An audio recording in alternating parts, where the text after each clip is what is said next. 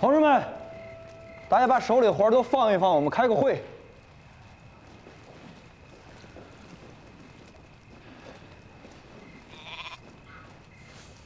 都到齐了啊，同志们，今天这个会议很重要。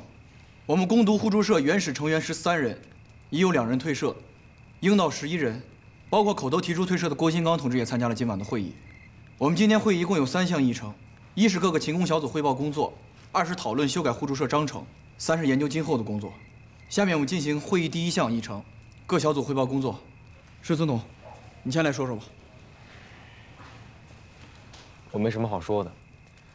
洗衣组的业务已经被吊销了，洗衣组呢也已经不存在了。我作为组长，向各位道歉。汇报完了。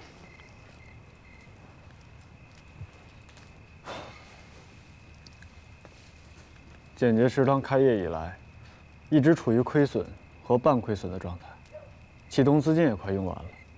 照这样下去，最多再维持一周。说完了。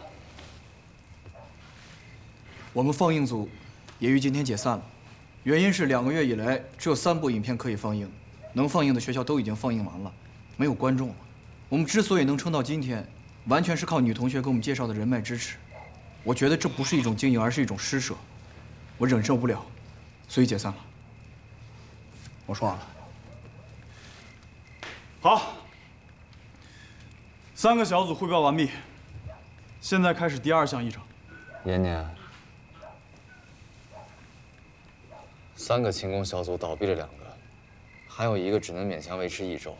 我认为已经没有必要再进行第二项议程了，应该承认我们失败了。我们应该正大光明地宣布，攻读互助社第一实验小组解散。郭金刚同志，互助社解不解散，首先得解决问题吧。我们不能糊里糊涂的就当了无政府主义的试验品啊！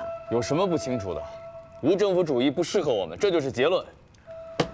我不同意你的看法，我看不是无政府主义行不通，而是我们根本没有搞清楚什么才是无政府主义的互助论原则。好啊。那就请你这位飞笑先生来给大家讲讲什么是互助论的原则。好，首先，互助论的第一个原则就是共产，互助社的任何人都不得保有私人财产。可是你看看我们这个社吧，当一群先把自己的衣服贡献给大家的时候，得到的是什么？得到的是讽刺和嘲笑。当大多数人已经身无分文的时候，有的人还有小金库。当大多数人。已经脱离家庭关系的时候，有些人却可以和家人去吃饭。当然，我没有针对谁的意思，我只是想说，正是这种私有制残余腐蚀了我们的互助社，使我们之间出现了感情不融洽、互相猜疑和精神涣散的现象。我不同意你的观点。我认为，互助社之所以办不下去，是因为这个社会没有提供给个人自由发展的条件。也就是说，个人劳动不足以维护个体利益的时候。互助，它只是一种空想。我不同意解散互助社。我从家里跑出来来到这儿，就是为了追求自由。是，互助社是苦了一点，但是它给了我自由，特别是，特别是给了我追求爱情的自由。群仙姐姐，那你到底爱上谁了？好，我今天就趁这个机会大胆的宣布，我爱上了何梦雄同志。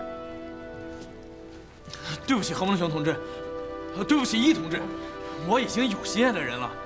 你紧张什么呀？你可以去喜欢别人，但是并不影响我对你的感情。既然这样，我也不想隐瞒我的感情了。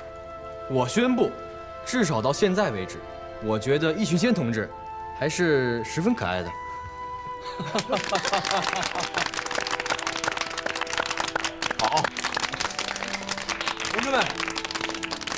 急了，我们现在言归正题。我们现在面临的问题是，秦工已经不能维持互助社的生存了。我们现在要怎么办？除了解散，别无他法。我不同意解散互助社。互助社解散了，我岂不是又要回到原来的生活？我不同意。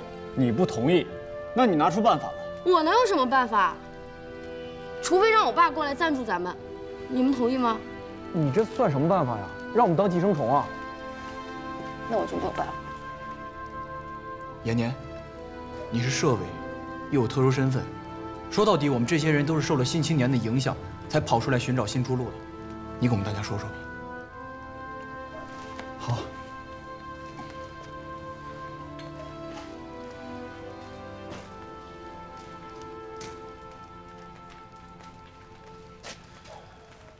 各位同志，我是我们这个攻读互助社第一实验小组的发起人之一。现在这个实验失败了，我有责任，我对不起大家。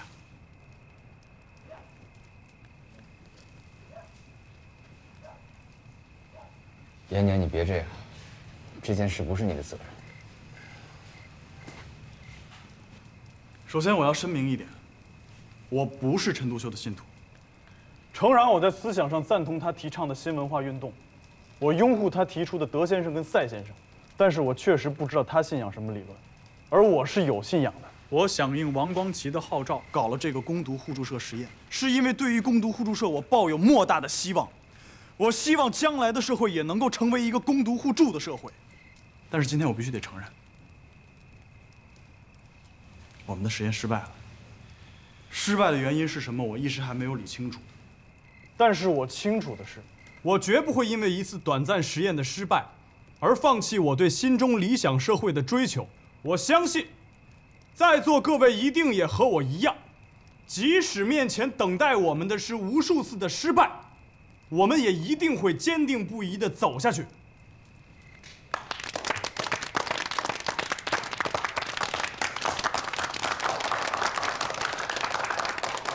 我提议。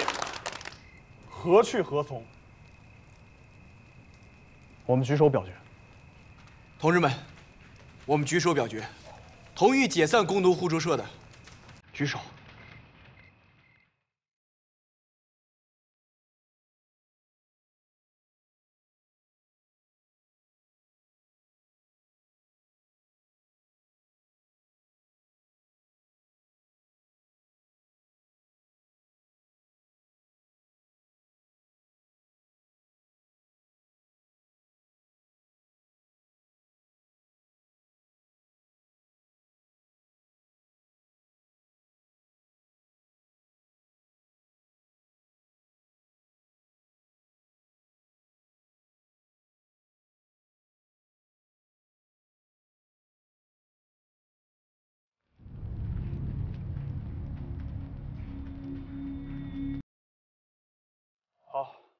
结果出来了。我宣布，北京攻毒互助社第一实验小组解散。